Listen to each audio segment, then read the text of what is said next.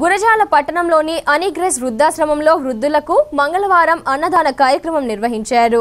అరవై ఏడవ గణతంత్ర దినోత్సవం పురస్కరించుకొని రెంటచింతల మండలం జీసస్ ఫెలోషిప్ మండల పాస్టర్స్ అసోసియేషన్ ఆధ్వర్యంలో వృద్ధులకు అన్నదానం చేపట్టారు. ఈ సందర్భంగా పాస్టర్స్ అసోసియేషన్ అధ్యక్షుడు మామిడి ఐజాక్ మాట్లాడుతూ వృద్ధుల పట్ల ప్రతి ఒక్కరూ సేవా దృక్పథం కలిగి ఉండాలన్నారు.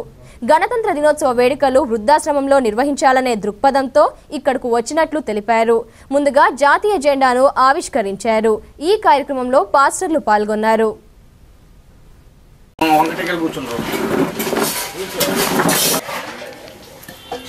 గౌరవప్రదమైన మన భారతదేశాన్ని భారతదేశాన్ని స్వతంత్ర పోరాట వీధులను పోసుకుంటూ ఈ గణతంత్ర దిన సందర్భముగా ఈ అరవై ఏడు ఎగరేసే జాతి మత కుల భేదము లేకుండా అందరూ కూడా ఏకముగా కూడుకొని జాతీయ పథకాన్ని ప్రతి ఇంట్లో ఒక పండుగ దినముగా పండుగ దినముగా పండుగ వాతావరణముగా కనపడుటకు మన జాతి పితరులు చేసిన త్యాగ ఫలితానికి మూలము ఈనాడు మనము స్వతంత్ర భారత పౌరులుగా జీవిస్తున్నాము అంటే నాటి కాలంలో వారు చేసిన పోరాట ఫలిత ఆయనకి పద్మభూషణం అందించడం అనేది చాలా దేవునికి మరి ముఖ్యంగా రెండు చింతల పూర్వ మండల ప్యారిస్ దైవ సేవకులు రెవరెండ్ అన్నారావు అయ్య గారికి స్వతంత్రం అనుగ్రహించిన రోజు.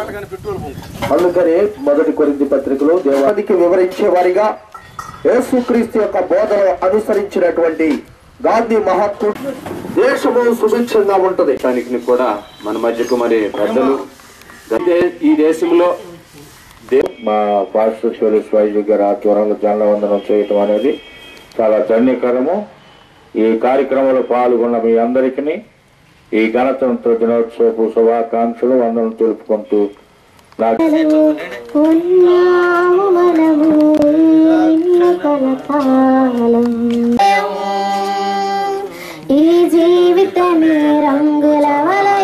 వేరసందుల ప్యారిస్ పాస్టర్ గారు రెవరెండ్ లోపలం చర్చి పాస్టర్ గారు రెవరెండ్ అన్నారావు గారు వారి కుటుంబ సభ్యులు అందరూ కలిసి జీసస్ పాస్టర్ ఫెలోషిప్ ఆధ్వర్యంలో జరుగుతున్న ఈ కార్యక్రమాన్ని ఆనిగిరి శుద్ధాశ్రయంలో జాతీయ పథకాన్ని ఎగరేటకు దేవుడు మనకు అనుగ్రహించాడు. అధినాయక జయ హే బా. ఇందు హిమాచల యమునా జయ హే జయ జయ హే.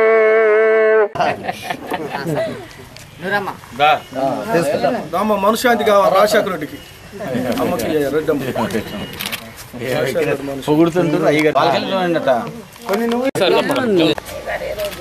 అందరు రావాలి మేము అనారా భాష గారు సార్ మా జోజ్ కుమార్ లేక